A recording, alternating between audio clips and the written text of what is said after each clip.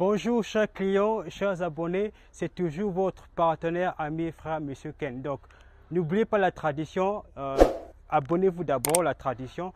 Et voilà, donc ici, je suis au plus grand marché des, des, pelles seconde main en Chine. Je suis venu prendre les pelles d'un client, deux pelles, et donc je profite de vous faire visiter le marché. C'est un grand marché, il y a toutes les catégories de pelles, beaucoup de marques, Sani, Komatsu, euh, euh, Itachi, on a beaucoup de marques ici. Donc là, par exemple, c'est des pelles euh, reconditionnées. Euh, refurbished, ok? On a des pelles occasion non refurbished là-bas, non reconditionnées. Donc, si vous avez besoin de perles, faites-moi savoir. Je suis là sur place. Je suis venu avec nos techniciens pour inspecter les lieux et prendre la pelle qui vous convient. Donc, c'est Monsieur Ken. Abonnez-vous. Je vais m'écarter et vous montrer euh, tout ce qu'il y a sur le marché afin que vous puissiez mieux savoir. Merci. Donc, tout à l'heure, je disais que c'est le plus grand marché des perles ici en Chine. C'est le plus grand marché en Chine et le plus grand marché dans le monde entier, bien sûr. Parce que si ça allait en Chine, c'est donc euh, automatiquement le plus grand dans le monde parce que la Chine est le plus grand exportateur des machines. Donc, nous avons toutes les marques. Hein. Nous avons, je vois un Komatsu là-bas. Je vais zoomer. Ici, nous avons un Sani. Donc, c'est comme je disais à la base, je suis venu pour prendre deux, deux, deux paires d'un client et je profite de vous faire profiter aussi euh, du marché. Donc, euh, faites-moi savoir de votre besoin. Vous avez besoin de quel type de machine? Donc, ne me demandez surtout pas de catalogue parce que, comme vous pouvez remarquer, il y a toute une kyrielle, toute une panoplie de machines ici. On a plus de 1000 machines ici, là, avec des marques différentes, modèles différents et capacités différentes. Donc, c'est quasiment impossible. Hein. Ce sera une tâche impossible pour moi de vous faire un catalogue. Regardez toutes ces machines. Comment espérez-vous qu'on puisse avoir un catalogue pour tout ça? Donc le mieux sera, hein, ce sera préférable de, euh, de me dire, soit si vous avez un modèle en tête ou des, des caractéristiques en tête, je cherche la machine par rapport à vous. Donc je vous donne le prix de la machine, des caractéristiques que vous voulez. Maintenant, si vous n'avez pas de marque ou de caractéristiques euh, euh, spécifiques, vous me dites donc votre budget et moi, euh, je m'arrangerai à trouver la meilleure machine possible par rapport au budget que vous avez. Et si c'est impossible de trouver une machine avec le budget que vous avez, je, vous le dirai, je vous dirai que non, mais pour avoir une machine idéale, hein, il faut avoir un minimum temps. Donc, dites-moi au moins le fait, si vous n'avez pas de, de, de, modèle en tête, dites-moi au moins votre budget.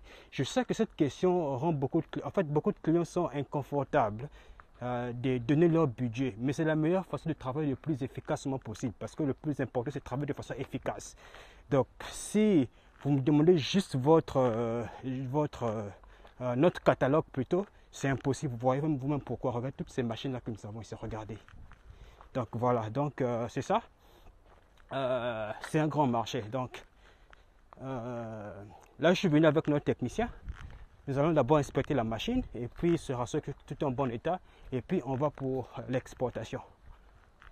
Donc, voilà toutes ces machines. Il y a toutes les catégories, tous les volumes, les grosses, les petites et tout. Donc, euh, faites-moi juste savoir de votre besoin et nous allons traiter business. C'est toujours Monsieur Ken, votre euh, partenaire, ami et frère.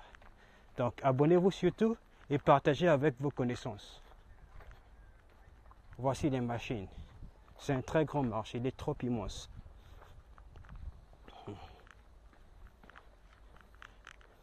Et je crois que je vais devoir m'arrêter bientôt parce que euh, c'est tellement trop grand ici que euh, on doit gagner le temps.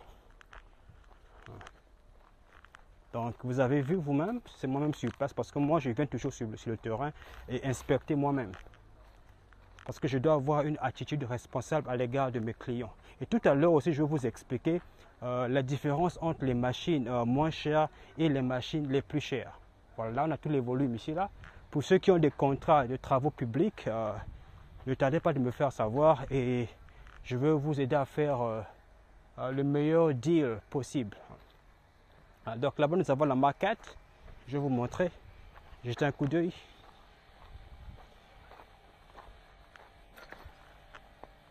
Donc nous avons 4 ici. 4. Ah, Là-bas on a Komatsu. Je vais essayer de zoomer encore. Voilà, on a Komatsu. On a Sani par là-bas. Là-bas vous voyez un Sani là-bas. Vous pouvez voir. Là-bas c'est Sani. Et donc, Euh, je crois que vous avez vu l'essentiel. Donc, toutes ces machines sont de différents prix, euh, différents modèles, différentes, différentes qualités. Et je vais m'avancer là-bas afin de vous parler euh, des les différentes machines. Pourquoi les prix sont différents toujours? Parce que beaucoup de, de, frères, des clients, sont juste limités par le prix. Et je vais vous montrer les différences qu'il y a côté prix. Donc, je reviens tout à l'heure. Merci beaucoup. Surtout, abonnez-vous, surtout, n'oubliez pas. Merci beaucoup. Merci infiniment. Bon, ici maintenant, je vais vous montrer pourquoi ce n'est pas toujours euh, idéal de se limiter juste sur le prix que vous voyez sur Internet. Je vais prendre ici, on a par exemple deux machines différentes et je vais vous montrer quelque chose. Vous voyez cette machine ici là? Vous remarquez que c'est vrai qu'elle a travaillé, mais on peut voir que ses roues euh, sont encore en bon état. Vous voyez? C'est juste la poussière, c'est encore, euh, encore bien. Vous pouvez bien voir, vous voyez? Et ça n'a pas encore été reconditionné ou repeint ou touché. C'est encore en bon état. voyez, non? Maintenant, je vous montre la machine qui est à côté, l'engin qui est à côté. Or, ici, par contre, on se rend compte que la machine a trop travaillé. Et voilà, on voit même la rouille que c'est presque fatigué. Voilà. Vous voyez que c'est devenu trop ancien même. Je vais essayer de zoomer, vous allez bien voir. Ok, donc on remarque que c'est elle a beaucoup travaillé. Hein. La rouille a commencé même à apparaître. Donc, donc deux fois, euh, quand vous discutez avec des fournisseurs en ligne sur les différentes plateformes que vous connaissez bien, euh, le au départ, vous avez discuté, vous avez intéressé à ce genre, à ce, véhicule. Et vous discutez, vous discutez, vous discutez, vous débattez, et il finit par accepter le prix dérisoire que vous donnez. Et après, vous accordez vous croyez qu'il vous donnera euh, ce camion, excusez-moi cette perle, il vient vous donner celui-ci. Et on peut remarquer la différence. Ici, on voit la rouille et ici. Donc, il va prendre celui-ci, il enlève le sable, la poussière, il va refaire la peinture et avant d'envoyer, il vous montre et il met dans le bateau. Et vous allez croire que vous avez payé l'argent pour ce genre de machine, alors que par rapport à l'argent que vous avez proposé, il va vous envoyer euh, ce genre de machine. Donc voilà pourquoi euh, c'est pas toujours euh, c'est pas toujours prudent de, de juste se focaliser sur le prix. Voilà. Donc, comme on dit souvent, en Chine, moins cher coûte cher. Quand tu suis trop le moins cher, tu finiras par payer plus cher que l'argent que tu as voulu économiser. Donc, c'est un peu ça. Euh, je m'arrête par là. Euh, soyez bénis et voilà, à nous revoir à la prochaine épisode. Merci beaucoup. Abonnez-vous surtout. Merci.